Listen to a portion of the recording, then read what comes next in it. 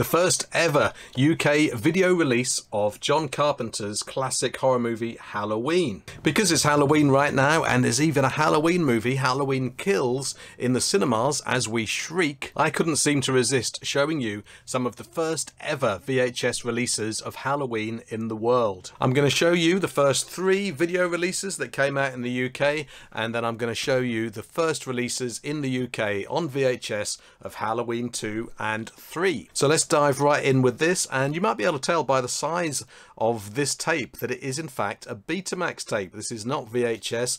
This is so cute. Yeah, how absolutely lovely. And what a classic image that is. That's one of the greatest uh, Halloween images there, I think. So simple and yet so effective. Now, this video on the back is dated 1978 and it already describes Halloween as the most successful independent motion picture of all time. Michael Myers, oh dear, they've spelt Michael's name wrong on the back. That is a travesty. This is like a cardboard slipcase and it's actually quite tricky to get this out of here but I'm going to do it because I love you. Look at that. Look at that reel. One reel. That's kind of a standard look for a Betamax tape.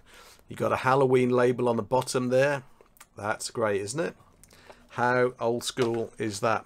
And uh, yeah, I think I'll put these back together later when you're not here. So that was the first ever UK video release of Halloween. And here is the second release, much bigger in one of those big boxes that you more readily associate with the VHS era. This is what they call, especially in America, they call this like a clamshell box because it opens up like that, like a kind of clamshell, sorta. Oh god, they still haven't spelt Michael Myers right on the back. Don't you think someone would have said, by the way guys, you've completely screwed up the back cover there, but hmm, seemingly not. This is a really gorgeous cover. I really like the blue. And of course, this is again the classic tagline that I should have mentioned with the first tape, the night he came home. Ah, on the back, I noticed there's a bit of a difference on, on the blurb on this. Now it says claimed to be the most uh, successful independent motion picture of all time. Hmm, lovely spine let me get the focus on that. Yeah. And let's have a look at the tape inside. I think it probably looks much like the other one. Once again, it's got a PAL sticker on it.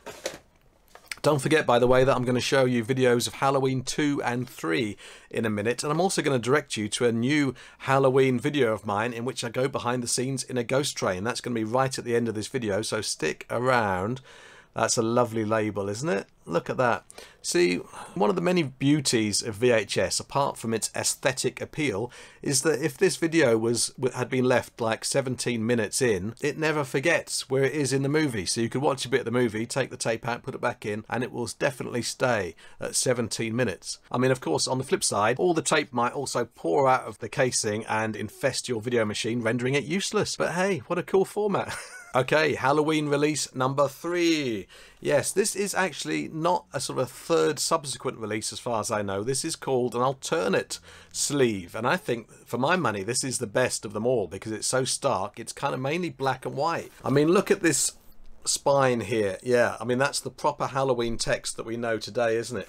Versus the earlier releases spine, which has just got Halloween on it, probably in the same font as the company put all the other titles. But yeah, I mean, this should have been the main prime release as far as I'm concerned. Once again, the same imagery. And this time, though, we're actually treated to a few uh, screenshots on the back there, which, uh, you know, makes the film seem more exciting. And how is Michael Myers spelled? Oh my god. You ridiculous people. You ridiculous people. Ah, it's a nice shiny kind of silvery label this time, which is pretty cool. Once again, it's got the PAL label. So that's the first Halloween movie, and I did promise to show you the second and third movies UK VHS releases. Here's number two, and I really like this one. I think you will too if you haven't already seen it. Yeah, look at that cover. What is that image? That's incredible, isn't it? Like a sort of a, a, pumpkin skull or a skull pumpkin, a skumpkin. So I remember seeing this on video shelves and it kind of disturbed me because it kind of looked like the personification of evil looking at me with those hollow eyes there. Yeah, that's really cool. I like Halloween 2 because it's even nastier than Halloween. It's definitely uh, kind of less classy, which doesn't necessarily mean that's a bad thing. Look at that text there. That's very nice. This is on the Thorn EMI label that some of you may be familiar with. Yeah, that's really nice. Is Michael Myers? Yes. See, Thorn EMI did a professional job of spelling Michael Myers correctly. There's the tape label. Halloween 2, Halloween 3. I love Halloween 3. What do you think of all these movies? Which is your favourite Halloween movie out of them all? I want to hear down in comments. Halloween 3, that's another great image, isn't it? That's another really malevolent image.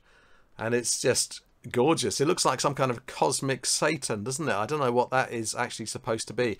And interestingly, it's got the um, it's got the subtitle there, Season of the Witch.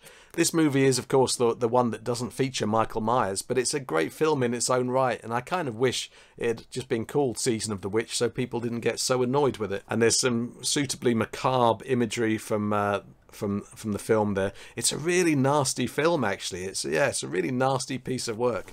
You have to see this if you haven't already and ideally see it at Halloween so you can sing along with the Silver Shamrock song. Now, if you haven't already, you really need to see my other Halloween video in which I get a guided tour of Brighton Piers Ghost Train from the Piers Chief Engineer of Rides. You get to see all the behind the scenes stuff and you can click on screen here on this very screen to watch that video. So I suggest you do that now. Happy Halloween and don't forget to embrace your obsession.